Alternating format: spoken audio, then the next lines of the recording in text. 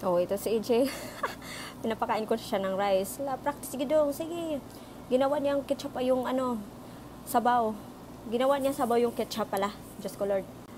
Pinaktis ko siyang kainin ng rice, pakainin ng rice kasi palagi na itong nag, nagpipizza at saka fries or chicken nuggets sa McDo. So ngayon, pinapakain ko siya ng rice. Oh, yummy pa daw. Oh, inom tubig. Sige, kain. Kain, kain, kana, kana, kumbati. Oh, sige. kasukaw na, kasukaw na na siya. Hmm. Sige, okay lang. Practice lang. Oh. Sige. Oh, mong mong isda gyud. Oh. Gigutom na ang isda oh. Hmm. Dali balik. Hmm. Lungit.